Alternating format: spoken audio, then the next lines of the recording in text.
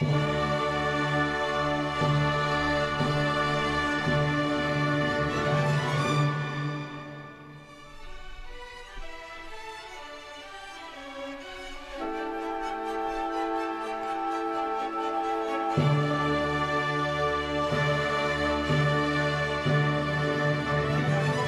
welcome to Unit 7.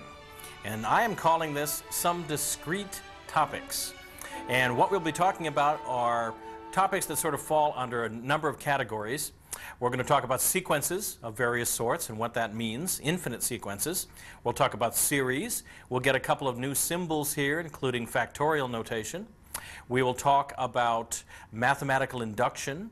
And in the end, we will talk about the binomial theorem a really famous theorem from history that will allow us to expand a binomial to any power. It will give us an actual rule for that, and it's a nice way to finish up the course. So, let's go ahead and get into it.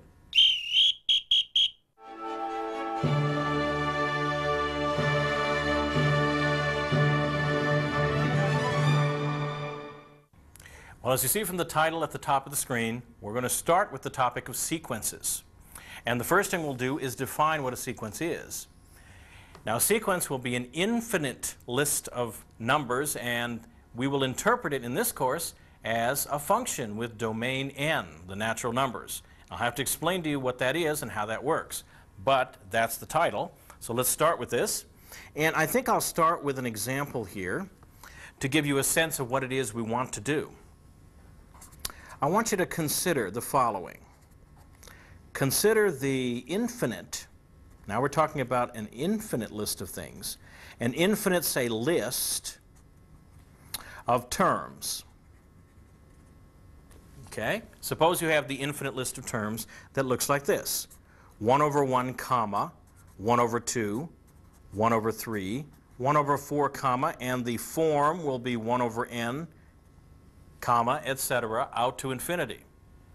Okay. In general, one might list such a list as a sub 1 for the first one, a sub 2 for the second one, a sub 3 for the third one, a sub 4 for the fourth one, and then the typical one, the nth one, will be a sub n going on out to infinity. Now, let me mark a couple of things here. What is this 1 over n? Well, this is really a formula for the nth term, isn't it? It's an actual formula, so if I ask you, starting at 1 here, if I ask you what is the 500th term, you can tell me immediately it's 1 over 500 because you have a formula for it. Whereas down here, this is the nth term all right, but there's no formula given. It's just a generic nth term representative. Okay? So I have an actual formula here. Here I just have a name. And let's notice one more thing before I leave this. This is a particular list for a particular formula. Here is perhaps a general way of labeling it. And remember, when we have subscripts, often we can think of them as functional values. A at 1, A at 2, A at 3, A at 4, all the way up to A at n. So now the A, instead of becoming some letter with a subscript, can be thought of as a name of a function, the function a, acting upon 1, 2, 3, 4, and in general n. So with that insight into this example, I can go ahead and write down the definition that I've been suggesting. Definition. A sequence, this is the word being defined here, a sequence is a function Okay, that's the first thing to recognize. It is a function. And what makes it interesting? It's a function whose domain is the natural numbers, which is the set 1, 2, 3, 4, up to, in general, sub n, little n, all the way out to infinity.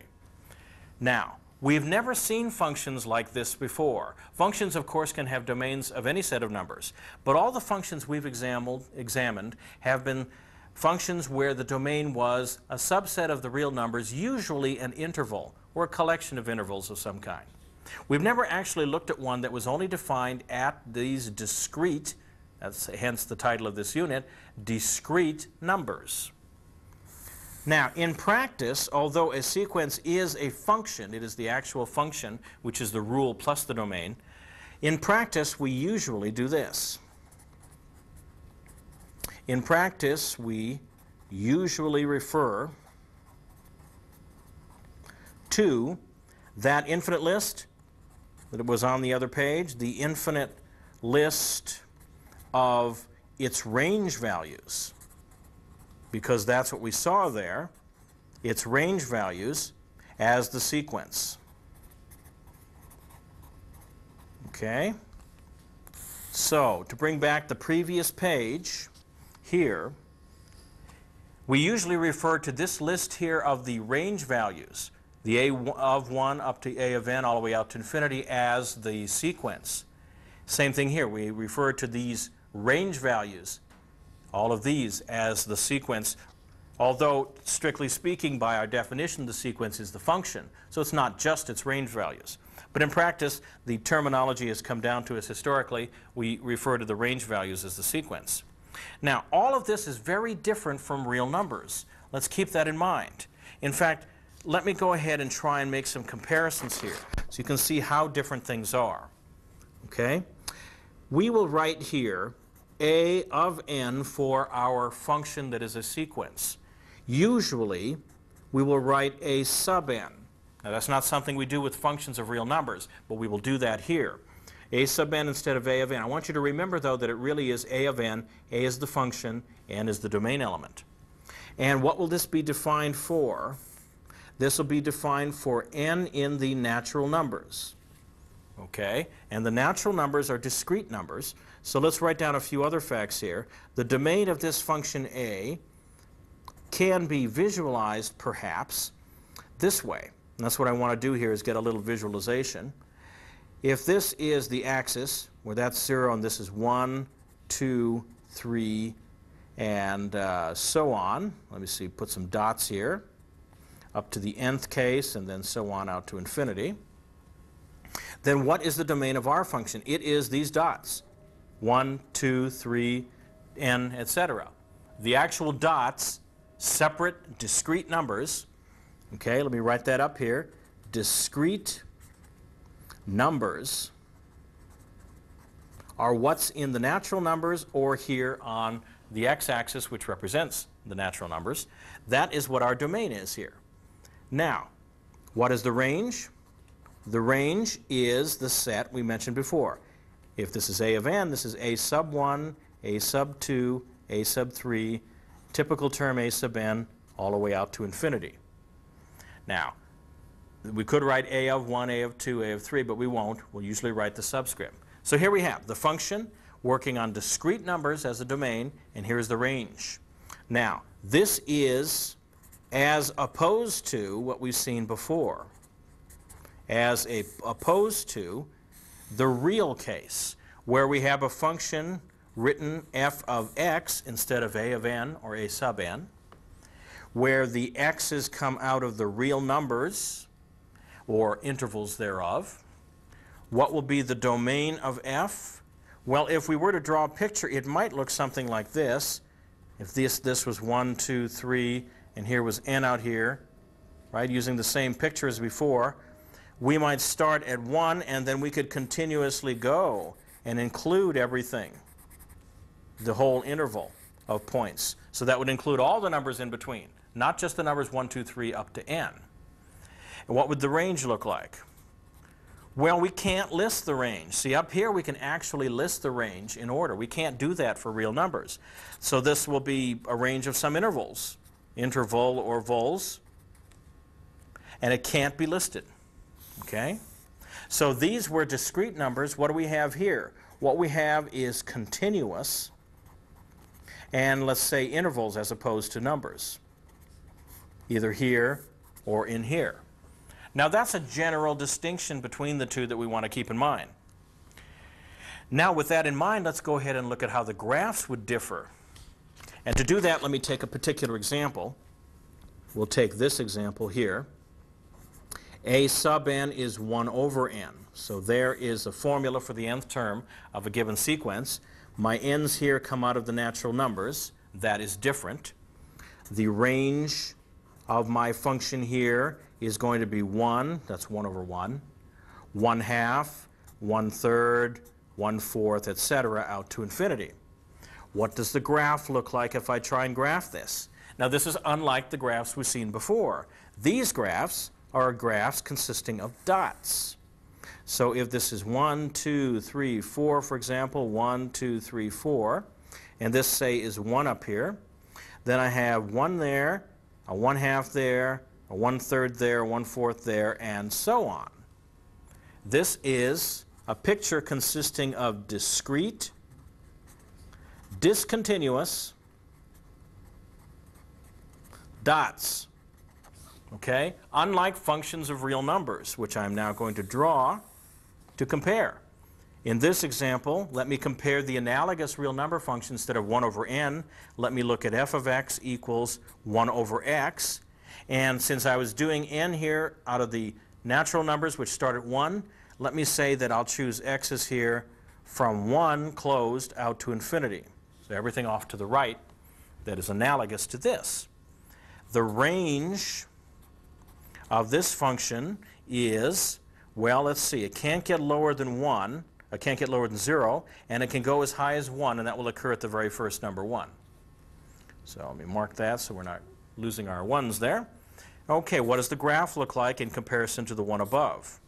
Here's the graph. Here's the point 1, and let me mark off the same points as before, 1, 2, 3, 4, 1, 2, 3, 4. What's different here is the first point there is 1, and the rest of the graph goes down like this. It simply is a continuous, a continuous curve. Okay? All of the points are on there as opposed to only a discrete number of points up there. So, that is one of the main differences between sequences and, let me box this one in here, a function of the real numbers as we've seen before.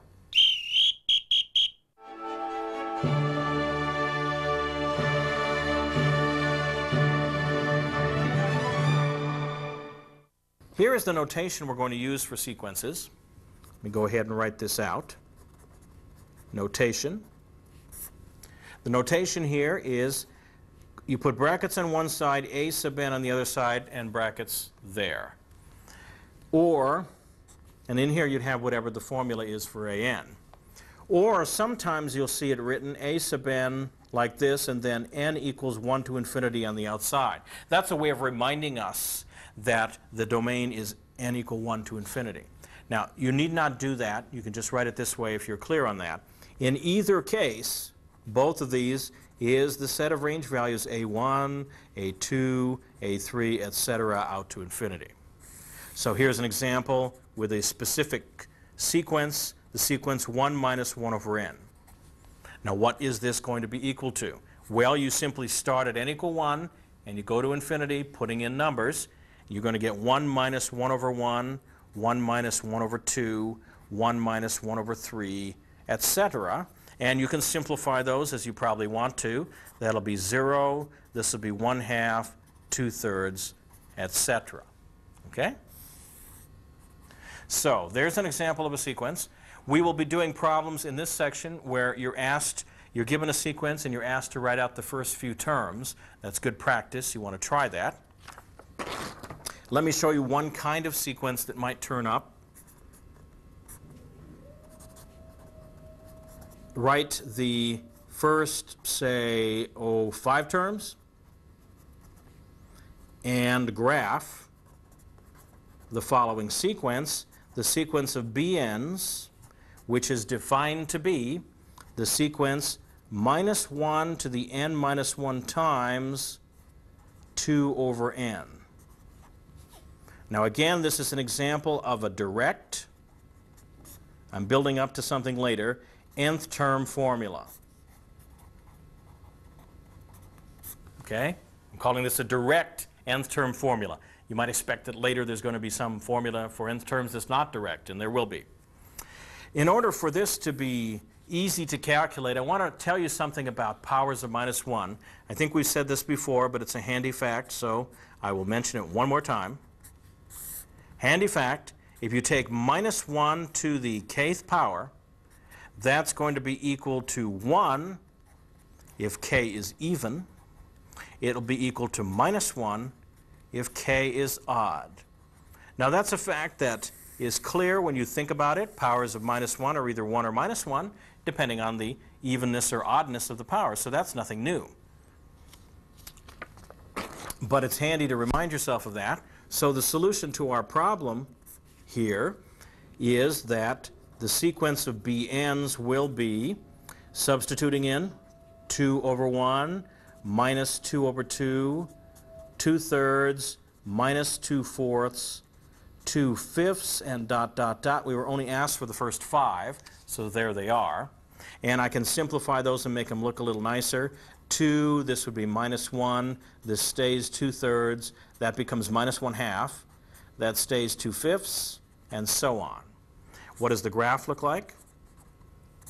Well, if you graph this, you get something like this. I'm doing this by hand. I'll talk about the calculator in this in a bit. And let's see, one, two, three, four, five. We did five terms, so one, two, three, four, and five. The first one's at two, see? The second one is at minus one. The next is at two thirds. The next is at minus one half, which is right about there. The next one is at two fifths, and so on. And if you sort of visually see what's going on, you've got the curve, the dot is going from there to there, and then the next dot is there, the next dot is there, the next dot is there, the next one's going to be down there somewhere, etc. Now, those lines, those little arrows I drew in are not part of the graph. The graph consists solely of these dots. But that gives you a sense of the movement that is going on here. Okay. There is another type of question that you might be asked about infinite sequences. And it is one that I want to warn you about because you have to be very careful when you do this sort of a problem. Here is one in which the statement is reasonably stated. Assuming, we're assuming now that the patterns continue. The patterns continue in the obvious manner Okay, now that is really a vague term, as you'll see in a moment. In the obvious manner, write the nth term of the sequence. Okay, and I'll give you two examples here to look at. Example 1, 1, 1 third, 1 ninth, 1 27th, etc. And the second one, E minus 2e squared, 3e cubed, minus 4e to the fourth, etc. Okay? So, assuming that the pattern that I think I see here continues onward, what would I write for the nth term? Well, for the first one, it looks like I've got powers of one-third. The first could be one-third to the 0. This would be one-third to the 1, one-third squared, one-third cubed. So I'm going to guess that one-third to the, let's see, the first one is 0. That's 1 less than the n. So that's n minus 1, and I'm going to say that that is, for number 1, the kind of sequence that I believe that is. The second one, well, it will certainly have an e involved, but if e, if n is 1, I get this. If n is 2, I get this and is 3. One of the things I notice is that the minus 1s alternate, so let's work that out first. It's minus 1 to a certain power. If n is 1, minus 1 would be minus 1, and there's no negative here. The negative doesn't start till the second one. So if I take minus 1 to the n minus 1, then when n is 1, this is minus 1 to the 0, which is 1, which starts here. When n is 2, this is minus 1, which makes this negative, and so on. I have the alternation going the right way. Times e, and it looks like this is e to the 1, e squared, e cubed, e to the fourth. And in front of them, front of the power is the same number that the power is. So I could have uh, times, let's see, n, e to the n. Okay?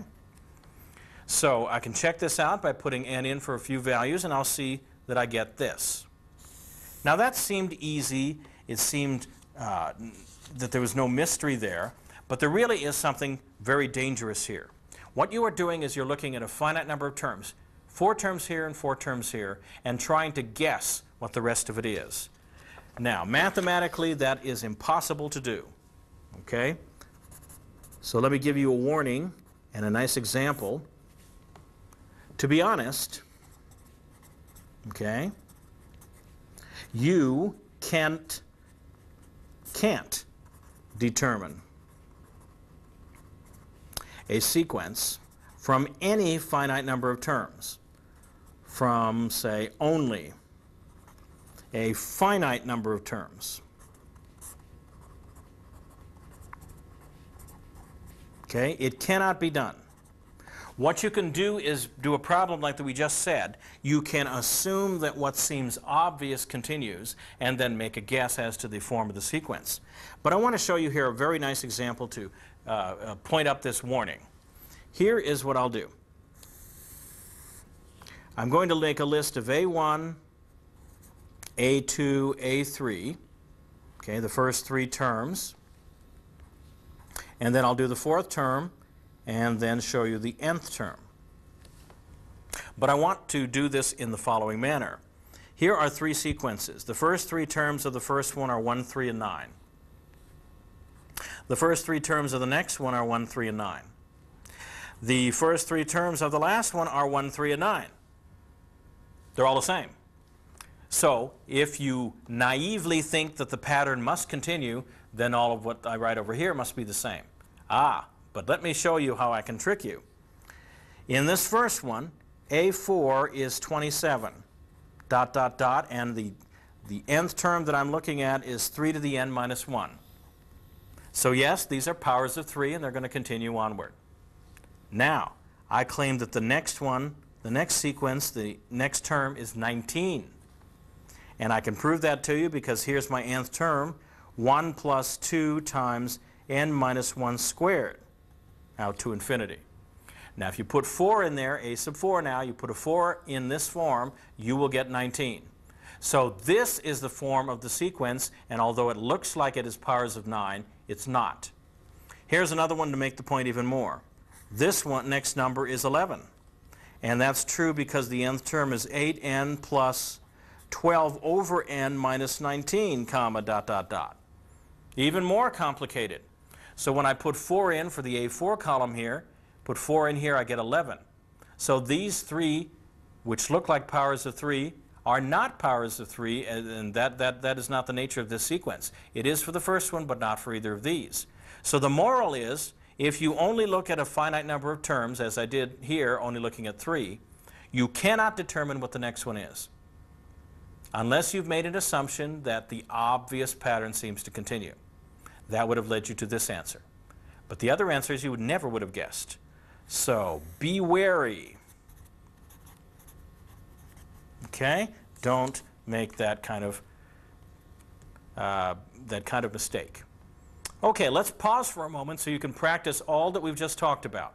When I come back, I'll talk about another way to give series other than giving them by giving their direct nth term formula.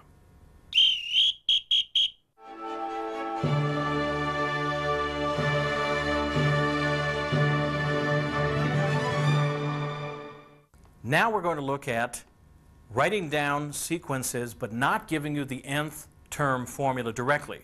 Is it possible to write a sequence down without giving you that form? Yes, it is, and it's very popular, so you need to know that this can be done. So let me make a note here. Previous sequences were given here in this lecture directly. Okay, when I spoke about them, I gave them directly with a formula for the nth term. Okay, that's how you give it directly. With a formula for the nth term, which involved only where the term was, involving only n. Okay? So, for example, I might have a sub n equals 3 to the n minus 1, b sub n is 1 over n, etc. So all I need to know is, what do I want? The 17th term, I put 17 in for n, I get the 17th term. So I got a formula. which only involved n, the position that that occurs. Now, often you will find out that sequences are given another way. Often a sequence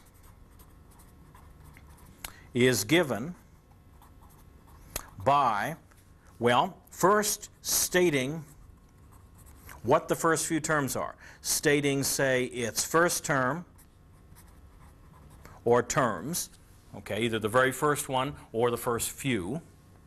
Then, once you've got that done, you've stated the first term, then writing a formula, you do need a formula, a formula for the nth term, but this time, the formula for the nth term, instead of involving only n, this will involve, or involving, some preceding terms.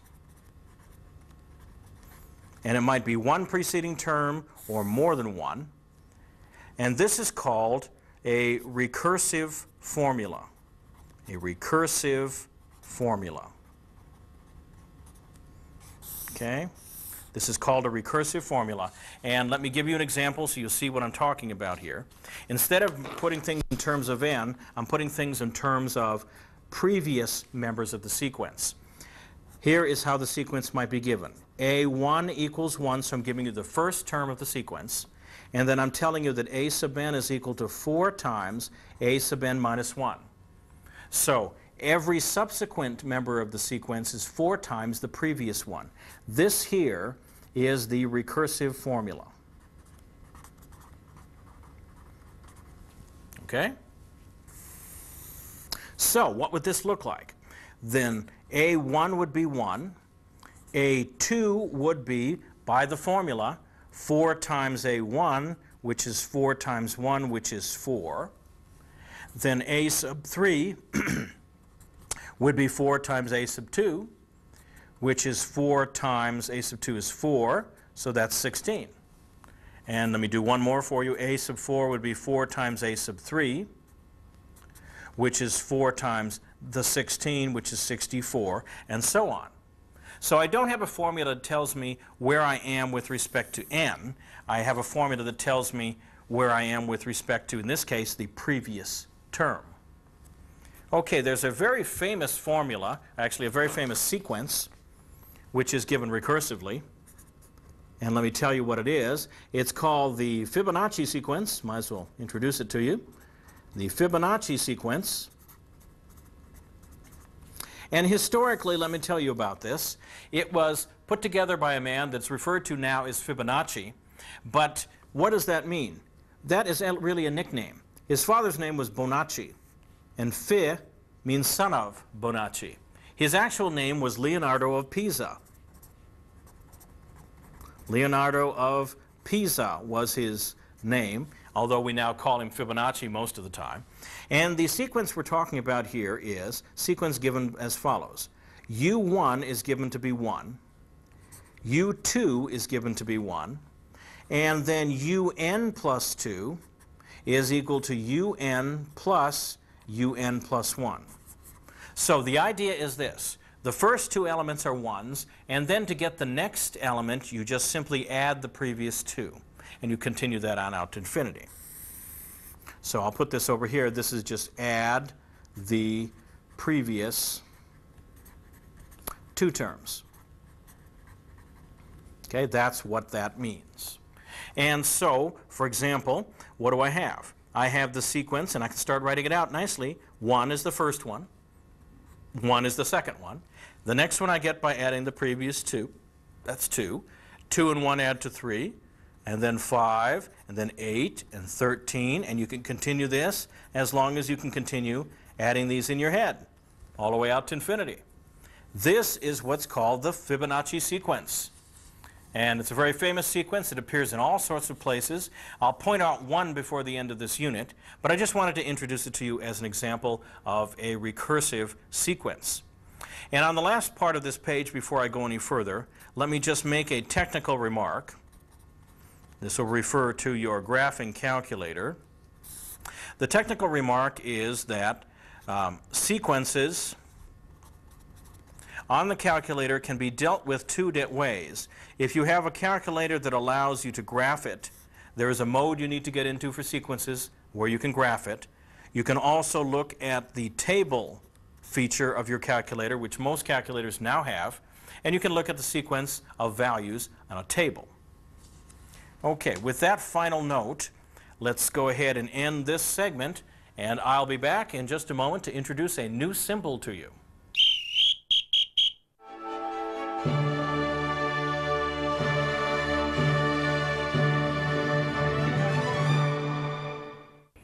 Now I'm going to introduce to you a new symbol that we that you may not have seen before. It's called the factorial symbol, and you see at the end there an exclamation point that's not really an exclamation point. It is now the factorial symbol in mathematics. And so I'm going to go ahead and define that for you right now, and then show you a little bit of how to work with it. It will be necessary for what we do later. Definition, here's how it goes. For n equals 0, 1, 2, 3, etc., we will define what we'll call n factorial. Okay, that's the way we'll say it when we talk about it, n factorial, which will be denoted n with an exclamation point. There's the notation. And we'll define that to be as follows. We'll define 0 factorial to be equal to 1. And this is for convenience. It makes all of the other formulas work out nicely. So 0 factorial is equal to 1 by definition. Okay, this is a definition. Then n factorial is equal to n times n minus 1 times n minus 2 all the way down to 3 times 2 times 1. And this will be true for n equals 1, 2, 3, etc. So we have 0 factorial is 1, n factorial is defined to be that. And just so you get used to it, let me write out the first few factorials. So here, for example, 0 factorial, of course, is 1. 1 factorial is 1, so we'll just put that as 1. 2 factorial, by definition, is 2 times 1, so that's 2. 3 factorial is 3 times 2 times 1. I'm just, you see, I'm just starting with the number and multiplying all the way down to 1. So 3 times 2 times 1 is 6. 4 factorial is 4 times 3 times 2 times 1. That's 24. Let me do another one. 5 factorial is 5 times 4 times 3 times 2 times 1. And if you try that out, that's 120. And so on. Those are the factorials. Now you may notice that the factorial numbers are growing fairly quickly, and they do grow rapidly. There's really rapid growth, and let me make a note down here about that rapid growth. And I believe I have a, a small example here that I can pull out. And uh, it's slid away from me here. Here we go. Rapid growth. If you look at 20 factorial, which is really not very big, you've only gone up to 20, not a very big number, that is approximately 2.4 by 10 to the 18th. If you go up to 50 factorial, you are at about 3 times 10 to the 64th. Those are huge numbers. So factorials grow extremely quickly.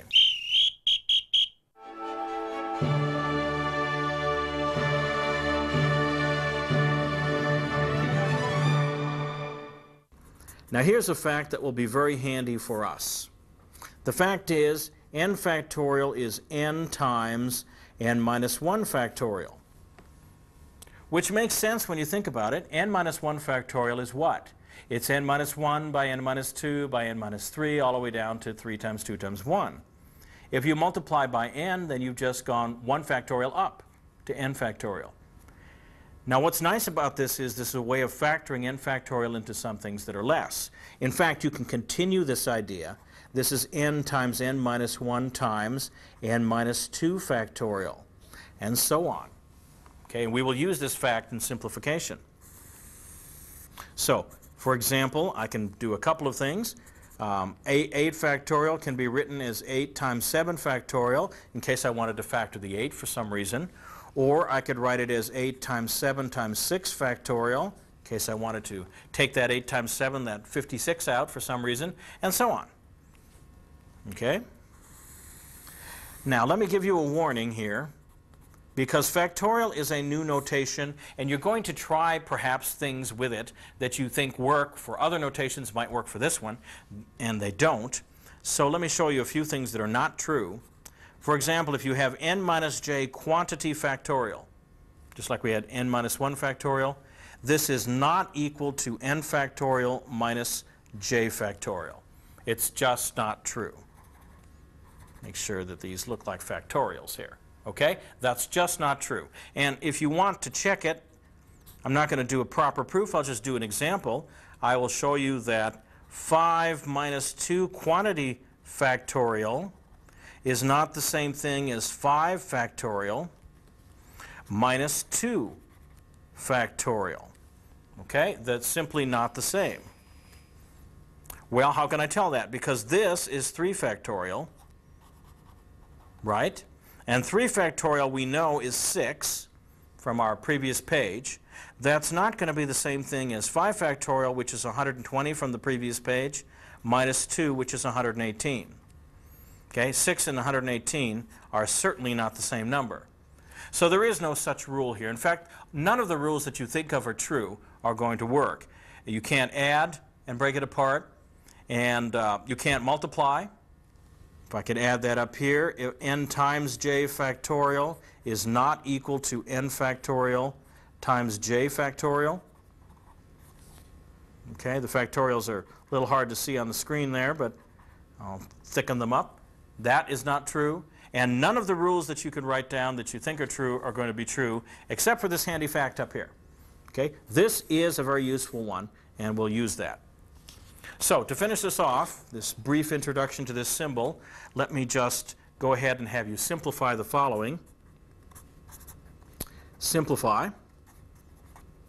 And we'll just take them step by step here. A, how would I simplify 6 factorial over 3 factorial?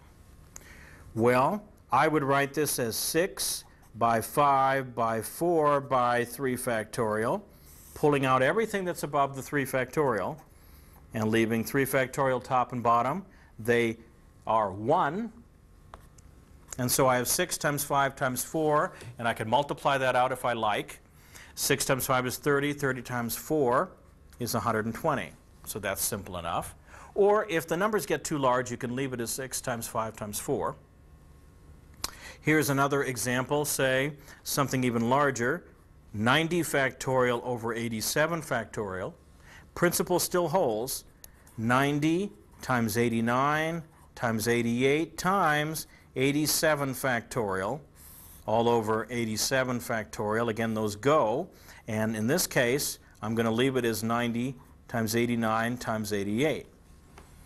The lesson with factorials is very often you leave numbers as a product until you are forced to multiply them out. If you leave them this way, chances are later that something will come along and divide into them and save you the trouble of working the numbers out. Um, what about 7 factorial times 0 factorial? Now remember, 0 factorial is not 0. It's 1. So this is just plain 7 factorial.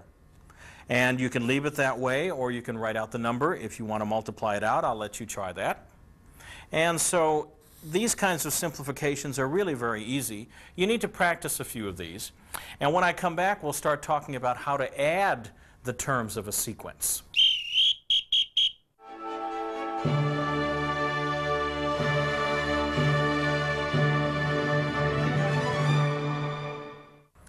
Now, we, now that we know about sequences, we're going to talk about adding the first n terms of the sequence adding the first n terms of a sequence. These sums that we create that way will be called nth partial sums. And we'll introduce a notation called summation notation in order to make all of this easy to work with. So, here we go. Given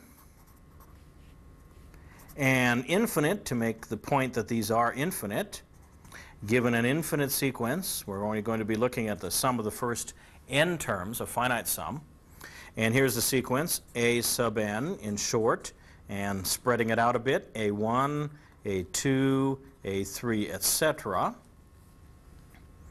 The sum of the first n terms is, of course, the first n terms is, as you might expect, a1 plus a2 plus up to an. I mean, that's what a sum is.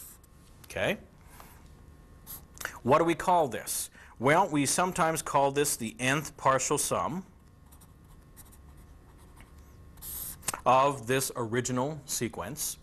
Sometimes it is called also, this is a finite series.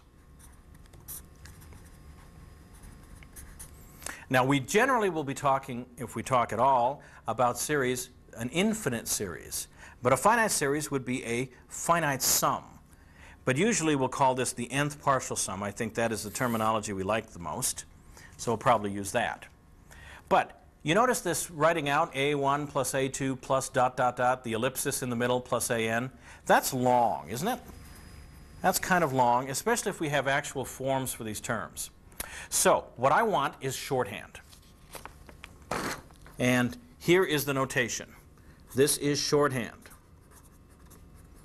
notation for sums. And it's called summation notation, as you might expect. The shorthand notation. This is extremely useful in all of mathematics. It's used everywhere. We will write, okay, we will write the nth partial sum, this partial sum that we looked at on the previous page, the nth partial sum as the following. We might write S sub n for nth partial sum. Now remember what it was. It was A1 plus A2 plus dot dot dot plus AN. That was the previous notation. Now here is the shorthand notation. And I'll write it very large. And I'll put A sub k here, where k goes from 1 to n. Now this I need to explain. And sometimes the A sub k is put in parentheses. Now what do I have here? Well, let's see. First of all, what is this symbol? This symbol is a sigma. Okay, it is a sigma. What's a sigma? It's simply the Greek S. Okay, that's all it is. And of course, it stands for sum. Stands for sum. Okay, it's simply a Greek S, a big sigma. Okay, you write it large like this. All right, what else have we got here? In here, we have the a sub k. Now, what's that? Well, that is the form of the terms of our sequence. So this is the form or formula for the kth term, since it's a sub k, of our sequence. Okay, so you need to have a form for the kth term in order to use the summation notation. Everything in your sequence looks like this in short.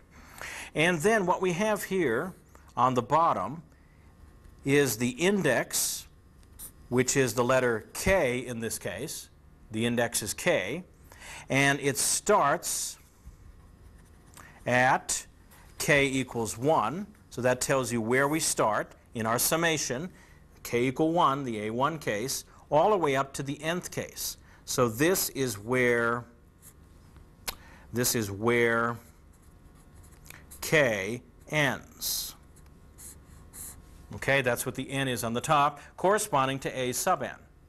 So the 1 here corresponding to a sub 1 and the n corresponding to a sub n, these are the things being added. This is the general form. K is the index letter being used. The index letter can be other letters. It does not have to be uh, K. It could be other letters. Often an I or a J is used, and it's called an index variable. But this is the way this form works. Now let me show you how it works in practice. Let me give you some examples here so we can start getting used to this. Suppose I'm given a sum, say the sum of the 1 over k's from k equal 1 to n. What is that? Well, that's 1 over 1 plus, that's what the sum's about. Sigma stands for sum, so you're not just listing the sequence elements, you're adding them. Plus 1 over 3 plus all the way up to the last one, which is 1 over n. And I know that's the last one because n is up there. So if you're given the shorthand, this is how to expand it. How can we go the other way? suppose you're given 1 squared plus 2 squared plus 3 squared plus up to n squared, and you'd like to write it in shorthand. Well, it's the summation symbol of the k squareds, where k goes from 1 to n. So there we are. If you know the form, you can write it in shorthand like that. And another example might be this one. Suppose you have the summation of, this is a big one, minus 1 to the k plus 1 times 2 to the k. And the k goes from 5 to 8. So the k didn't start at 1, and it didn't end at n. It just goes from 5 to 8. So what is this? Well, you know from your experience that minus 1 to any power is simply going to alternate the sign between plus and minus 1. And when k is 5, that's 5 plus 1 is 6. That's going to be positive, so that will be a 1. And so the first one is 1, and then we just let the powers of 2 grow. So this is 2 to the 5th, minus 2 to the 6th, because it'll alternate, plus 2 to the 7th, minus 2 to the 8th. Period. That's the end there. Okay, so this is a sum, represents this longer expression. And the sum really comes into its own when the number, the things you're adding, is very large. I only did a small number to show you what I was doing here. But if I added from 5 to 100, certainly this expression would be shorter than writing out 100 terms, or 100 minus 5 terms. Okay, just a few notes about this as we get used to this. The uh, first note is the index, or the index variable k, uh, need not begin at 1 or end at n. Okay, and that's what that last example showed. It can start anywhere and go forward to anywhere you like. Other, other letters are used also. Other letters are used. And the commonest ones are going to be I and J, although other letters can be used. We usually stick with those letters that are in the middle of the alphabet. Okay, well, then there are lots of examples that you need to practice on your own. Let's do one, say, the sum of the i factorials, where i goes from, say, 2 to 5. Well, that'll be 2 factorial plus 3 factorial plus 4 factorial plus 5 factorial, period. And I'm not going to add those. I just wanted to show you that this is the long way of writing out the sum, and this is the short way. And please realize that when I is an index letter, as it is here, it does not stand for the complex number I. Okay, this is context. In this context, the I is a placeholder. In fact, what you have here is really box to the I, or box um, factorial, and you have box equals 2 to 5, where the box can be any letter that happens to be convenient. Okay, and the letter I used was I. I could use K or J or any other letter. Okay, so be aware that that is in context, not the complex number.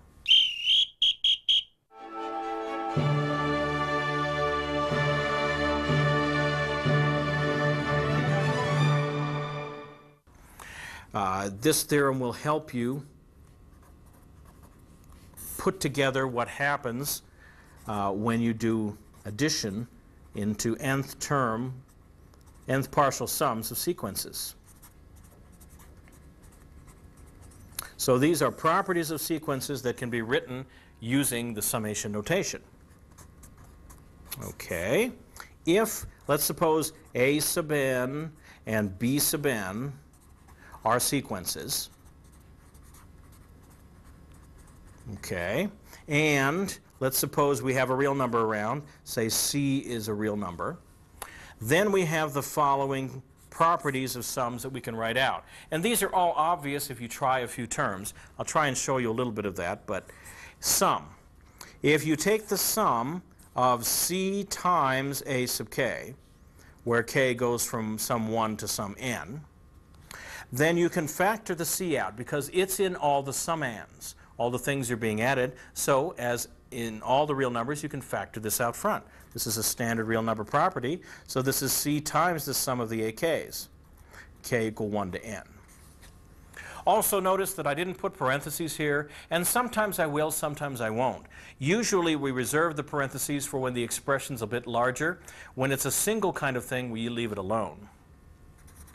Okay, here's 2 and 3, and they go like this. If you take the sum of the AKs plus or minus, so 2 would be the plus and 3 would be the minus, but it's the same idea, where k goes from 1 to n, then you can break these sums apart.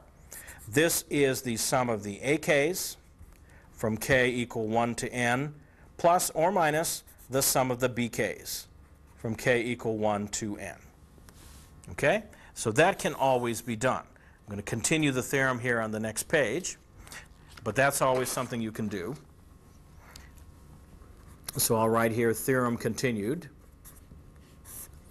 4 if you have a sum of numbers, say ak, k equal 1 to n, you can break this up into the first part of the sum and the second part of the sum. You can say, let's add the ak's from k equal 1 to j, where we're picking some number that's between 1 and n, so j is bigger than 1 and less than n. And then that would be added to the rest of them.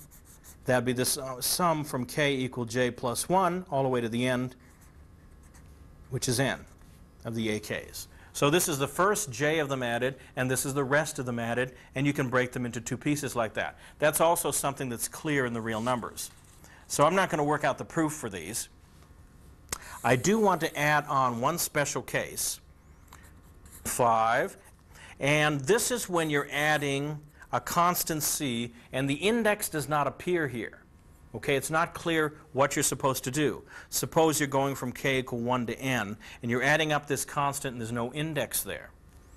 Well, what this means by definition is, when you have this situation that you're taking this constant and you're adding it as many times as there are uh, index values here.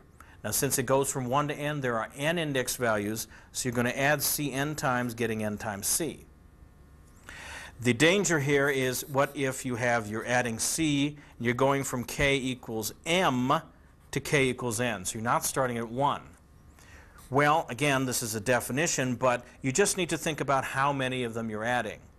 Instead of adding 1 to n, you're adding m to n. So the first m minus 1 are missing. So this would be n minus the first m minus 1 of them times c, which can be simplified into n minus m plus 1 times c. Okay? Now, in context, these are easy to figure out. Uh, for example, let me show you an example here of this last one, just so you see what it is that's going on. Suppose the example is to say, add up 9 from k equal 3 to 8. Now, you can do this mechanically you can say, okay, there's the 3 case, there's 1 9, there's the 4 case, there's the 5 case, there's the 6 case, there's the 7 case, and there's the 8 case. Right? How many nines is that? That's 6 times 9.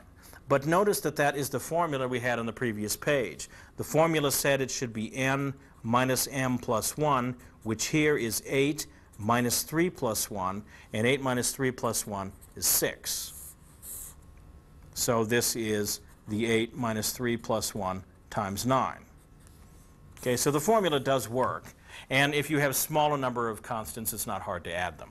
So that's just a little note I wanted to add to make sure that you were getting the hang of this. Uh, this just takes a little bit of practice.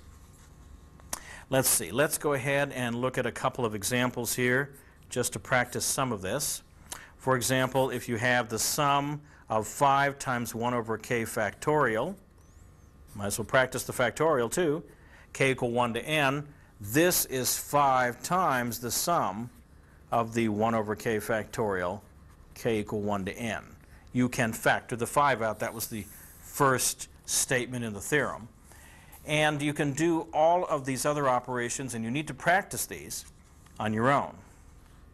There is one more note before we leave this segment on adding the nth partial sums. I want to observe something here. I want to observe that if you take the nth partial sums themselves, okay, the nth partial sums, which remember I've called for short S sub n, if you take those, the nth partial sums of a sequence that we started with, say a sub n, form their own sequence. Right? And that sequence, of course, would be written S sub n. So in an example, let me show you what I mean. Here I've got a sequence of A sub n's, okay, which will be A1, A2, A3, A4, etc. Then what would be the sequence of partial sums? Well, the first partial sum is just adding the 1, A sub 1. The next one is A sub 1 plus A sub 2. The next one is A sub 1 plus A sub 2 plus A sub 3.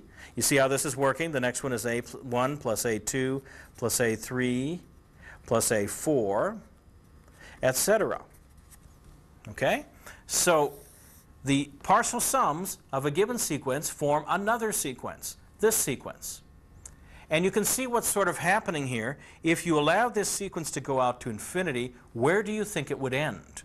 It looks like it's ending with the sum of all the original members of this sequence. It looks like this sum is increasing term by term out to an infinite sum. And in that, in fact, is something we're going to talk about later. So that's an important note. Okay, let's stop there. And when I come back, we'll go ahead and look at some specific sorts of sequences. In particular, we'll look at arithmetic sequences and then geometric sequences.